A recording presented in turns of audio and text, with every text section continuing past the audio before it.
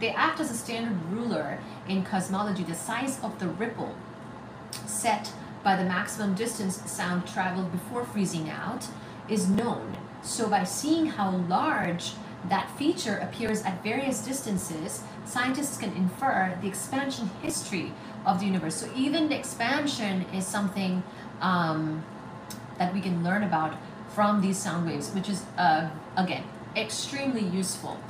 So baryonic, um, baryon acoustic oscillations or BAO measurements thus provide an independent way to trace cosmic expansion and have helped confirm the presence of dark energy driving the universe's accelerated expansion.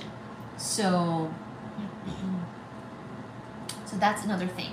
We can also learn about expansion, which is uh, really crazy how much important and useful information can come from these uh, uh, from these acoustic oscillations.